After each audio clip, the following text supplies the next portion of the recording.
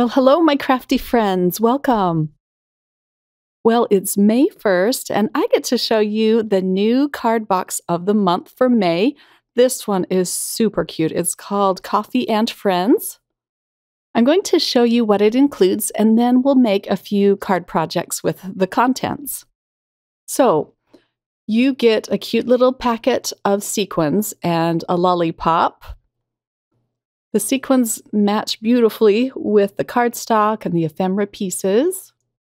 There is also going to be a $25 gift certificate giveaway, and I'll have a link to the Rafflecopter in the description box below. So the first thing I'm going to show you are these darling stamp set. This one's called Yum Yum. I adore this little hamster, and you can have him or her holding the cupcake or the donut or the coffee. The next one is called I Heart Coffee. And look at all of the cute images in this set. I think my favorite is the little croissant and the mug with the heart on it. They're all just darling. The next set is called Drink the Coffee. And look at all of these fabulous, bold sentiments. These are going to be fun to ink up. I'm thinking ombre with Distress Oxide inks would be really fun to do. You get two packs of ephemera die cut shapes this time, and they again coordinate with the pattern paper that I'm going to show you in just a minute. And I'll give you a closer look at these. This one is more cutesy than the first one I showed you, but both are just fun. And then you get two packs of pattern paper. This one is called Coffee and Treats, and it's more cutesy. And they are double sided. This one is called Coffee and Friends, and I love the beautiful colors on this second one as well. I'm going to give you a closer look at the pattern paper. Let me just make some room on my desk here. But again, this is created by the fabulous Teresa Russell. I adore her pattern paper. You get two of each, and they're double-sided. I really like the muted hues on the backs of these patterns, and you also get some polka dots, coffee cups. They're just super cute and they're very sturdy. I love those stripes and the coffee beans. I, I don't know which one's my favorite. They're all just so fun. And I like polka dot anything, so it's just cute. Okay, the second one again is called Coffee and Treats. Let me move this first one out of the way. And again, double sided. This time you get four of each pack. Look at those cute cupcakes. And then stripes on the flip side. Again, it's hard to pick out a favorite, but I really love that there's four of each. I love those polka dots because they're like kind of wonky. They're not complete circles. They're so cute. And then black polka dots. This piece right here, I think, is my favorite. I love that one with the cute coffee, coffee cups and the hearts.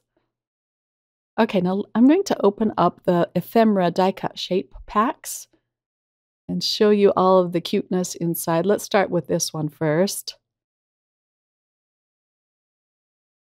And I love the size of these die cut shapes. They're a good size to fit on the fronts of your cards. But look at those donuts with the little animals on them, the panda and the cat. So cute. That was pretty quick, but you'll get a closer look here when I start putting the cards together.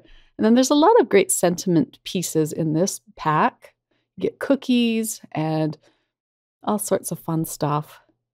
Okay, let's get into card number one. I'm going to rely heavily on the pattern paper and the ephemera pieces for these cards. And all three cards are going to be mini slimline. And these are a little bit larger than the regular slimline. These are three and a quarter by six and a quarter. So I'm going to use this pretty muted blue pattern paper on my first card. I'm going to tape the corners of this card down so it doesn't pop up. The cardstock I use is very heavy weight. It's 110 pound and it just doesn't lay flat. I had to go straight for those donuts. They're just too cute.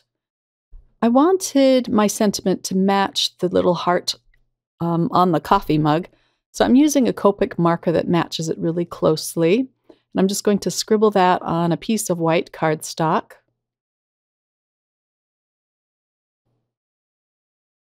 And then I'm going to stamp, well, I allow it to dry first, and then I can stamp out the sentiment.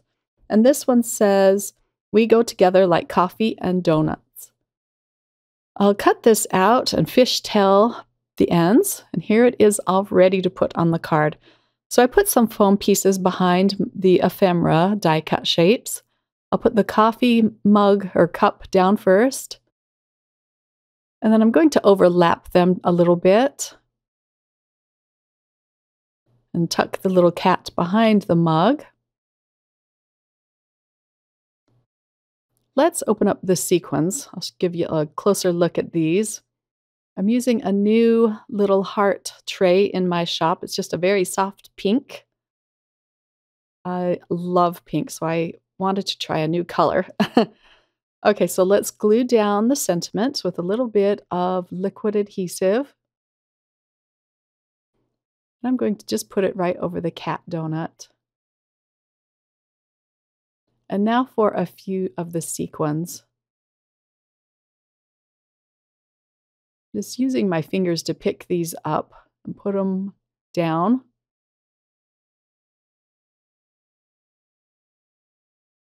And that's all there is to this card, except for one thing. I am going to tie a piece of black and white twine at the top and create a little bow. So super fun and super fast cards. Let's move on to card number two. Of course, more pattern paper. I have to use my favorite, these little coffee mugs with the hearts on them. I cut it down so it's a little bit smaller than my card base. Then I have a few strips of pattern paper here that I'm going to attach together. I just wanted the pink outline around this coffee. And then I can adhere this across my card. These are all going down flat so far. I have a little heart die cut shape, or die cut. I cut this out with a heart die that I have in my stash. And I'll adhere that down flat as well. However, the little coffee mug, I did I am going to pop up with a foam square or two. This will give it a little bit of fun dimension. The sentiment I'm using comes from the I Heart Coffee stamp set, and it's going to say Coffee and friends make the perfect blend. I'm going to just stamp this out on a piece of white cardstock. I'm using my VersaFine Onyx Black ink. This is a nice thick ink, nice and black too. So I'll stamp this down and I'm going to fishtail one end and pop it up with more foam adhesive. I'm going to tuck it under my coffee mug. I kind of pulled up the handle of that coffee mug and now I need to add a little bit of glue behind it just to hold it down again.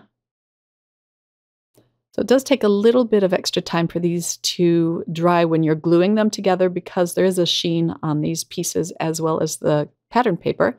But here's a close-up look at the finished card. I used a burlap, burlap twine bow on the top. Card number three, I'm using some pink cardstock for my card base, and then I went straight for this coffee bean pattern paper. It's so cute. I cut it out with a scallop die and now I'm using even more pattern paper to glue little rectangles on the sides. The sentiment will say coffee time, and I'm going to pop that up in the middle with some foam adhesive. This would be the perfect little card to send out to your girlfriend to tell her that it's time to get together and go drink coffee or whatever you drink. Just time to get together. I don't drink coffee myself, but I, for some reason, I love putting together coffee themed cards. They are a lot of fun. And I'll put that right in the middle. The ephemera pack includes some cute little cookies. And I went ahead and added a little more shading to them to make them a little bit different color. So one is more pink and one is more brown, just slightly. And I'm going to adhere those down flat over the rectangles. So this is a hashtag hop. And if you type in the hashtag N2S for not too shabby and then coffee, So it's hashtag N2S Coffee. Then you'll be able to see all of the inspiration from the designers in this hop. Here's a close up of card number three. In the picture, you'll see I did add another twine bow at the top. So make sure you enter the Rafflecopter for your chance to win and check out all of the other designers in this hop. I'm sure you'll see a lot of fun, crafty coffee cards in this hop. Enjoy the hop, everyone, and have a lovely day. Bye.